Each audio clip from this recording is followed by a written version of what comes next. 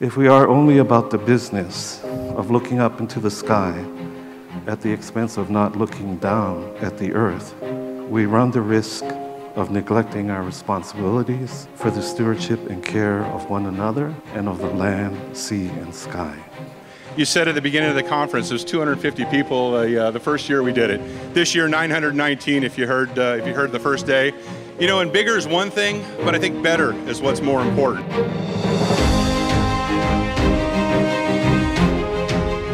I'm at Amos because uh, everybody else uh, in this in this field is also here. What I'm seeing is the convergence of the art of the possible, the technology that's enabling us to do new things in space with a sense of urgency. When we work together inclusively, um, we come up with better solutions. And that's why international cooperation and space go hand in hand. And maybe it is time for all of us to develop a common view on the scientific, technical, and operational aspects of space traffic management. I hope over the next few days we will find a path toward the future that's a safe future for everybody to use space as it's intended.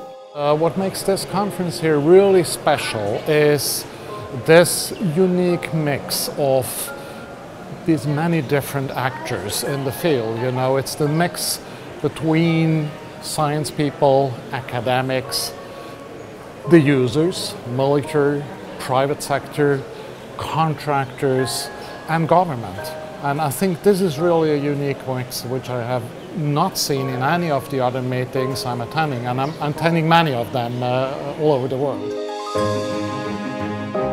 Uh, however, I would offer to you that we are entering a second space age and a second extremely exciting time to be in space. I truly hope that they see that this is something, the confidence, you know, that they can do these types of careers and then that they will if they stay focused and have educators like the ones here bringing them to opportunities such as AMOS today. Improved situational awareness and space traffic management are a key dependency for the trillion dollar space economy.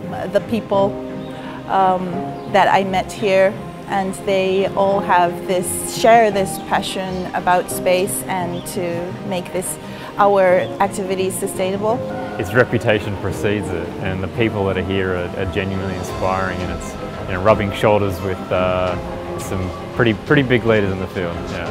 What makes uh, Amos the best conference in the world is the people. It's the people and the partnerships and the trust that we have in each other, uh, striving for a common goal into making the best SSA technologies there are uh, out there.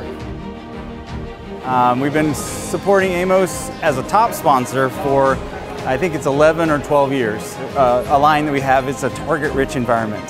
So that's basically in some, I think, our, our main points about why we attend. I think that the 2020 year will be a building block year for us, a time to put very important building blocks in place in the hopes that we can then accelerate activities in, in 21. But this has been a great program for us and I think many of us learned as much, uh, I mean as mentors we learned as much from the mentees and uh, then maybe they learned from us, I don't know. For us it was super interesting. It's over before the blink of an eye and it's time for us to say a hui hou, which means until we're together again.